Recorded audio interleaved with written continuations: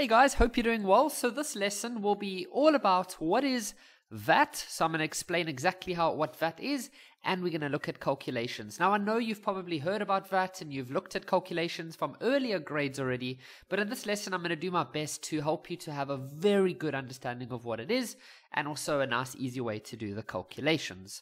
For this lesson, uh, we're going to use 15% for VAT, okay? Um, a couple years ago, we used to use 14% here in South Africa. Now it's 15%. But you always have to make sure because some examples from textbooks and things like that, they're still using 14%. So you always need to make sure what you are using, okay? So let's get started. Let's let's talk about what is VAT. So VAT it stands for value added tax. Now, what it really is is the following. So let's say, for example, you sell, you have a big factory and you sell t-shirts, okay? So here you sell t-shirts. Let's just try see if I can draw a nice t-shirt. Okay, so that's, oh, it's very thin over here, but anyway, um, that's a t-shirt. Now let's say that your t-shirt is worth 100 Rand, okay? But then what happens is that, let's say that that is the price without VAT. Price without that. So you think that that t-shirt is worth 100 rand, but you're not going to sell it for 100 rand. What you're rather going to do is the following. You are going to add 15% onto that price, okay? So you're going to um you're going to add 15%. Now, don't worry about the calculations right now. I'm just going to add on 15%, and that's going to give you 115 Rand. Okay? Now, that is what, now what you will do is that in your factory or in your shop, you will sell, you will tell the people who are buying your item that the, the shirt is 115 Rand. Okay, so they're going to give you 115 Rand. So here comes the 115 Rand. But then what happens is that that 115 Rand, um, they're going to give it to you. But then what you need to do is you need to give 15% back to the government or SARS, who handles the taxes of our country. So you're going to give 15 Rand to, um, to the government. And then you're going to get your 100 Rand after that. Okay, so so when you buy something at a shop, like let's say you go to the shop and you buy, um, let's say you buy bread or whatever you buy, the price that you see in the shop is this one over here, which already has the VAT included. And then what happens is that you're going to give that money to the shop, and then at the end of the month or at the end of the year, then the shop is going to have to go give all of the um, all of the VAT to the government or to SARS, and then and then they get to keep the rest. Okay? So does that make sense? So all the prices that you see in the shops already have the VAT included. Some items don't have VAT. Um, we'll talk about that in next lessons, but the price that you see in the shop is already the price that has the VAT included. Okay? So let's do some calculations now to practice how to use the 15%. So so the formula that you're going to use is going to be really basic. You're just going to take the price without.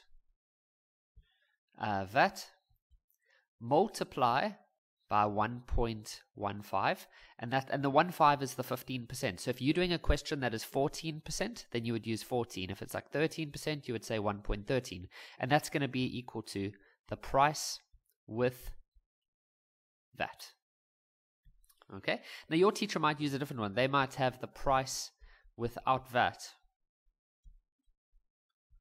multiplied by 115 over 100.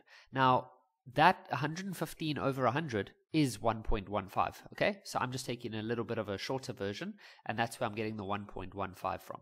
So uh, let's just write this out again. So I'm going to go um, price without, I'm just going to say price without, multiplied by 1.5 is equal to the price with. Okay, now, something else I want to say that's just going to make your life a whole lot easier is you can actually just do this. To add VAT, to add VAT, multiply by 1.15.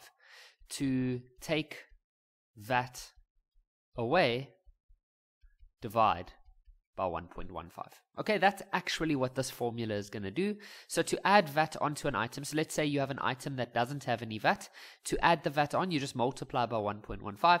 To take the VAT away, you just divide by 1.15. So here's our first example. It says that a soccer ball costs 120 Rand excluding VAT. So that means without VAT. So that's without VAT. Okay, now it says question A determine the price with VAT. Okay, so what we've learned is that if you want to include VAT, just multiply with 1.15. So you're just going to say 120 multiplied by 1.15, and that'll give us 138 Rand. So that is the price that you would actually pay at the shop. So how much VAT was added? Well, this was the original price before the VAT, and this is the price after the VAT. So for question B, you could just say 138 Rand minus 120, and that would be 18 Rand. So they added on 18 Rand of VAT. This question says Martin paid 199 Rand for a pair of pants. VAT is already included. How much does the pair of pants cost without VAT? Okay, so to remove the VAT, you divide by 1.15. So you're going to say 199 uh, divided by 1.15. This is for question A, and that'll be 107. I'm going to round to two decimal places, so that's 173 Rand um, and 4 cents. Okay.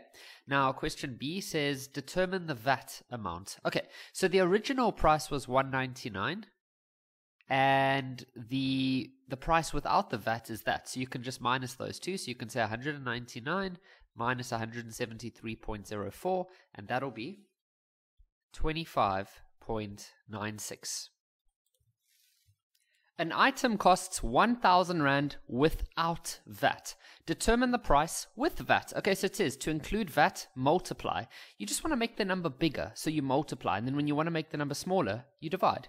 So we're going to say for question A, you're just going to say 1000 multiply by 1.15, and that's going to give you 1150 Rand. And so for this next one, how much VAT was added? Well, you can just say 1,150 minus 1,000, and so that'll be 150 Rand. Here's our last question for this lesson. I receive an invoice for a new mattress. On the invoice, it lists the mattress as 2,150 Rand without VAT. Determine the price with VAT. Okay, so to include VAT, you're just going to multiply with 1.15. So we're just going to say 2,150 multiplied by 1.15. And so that's going to be 2472, comma 50.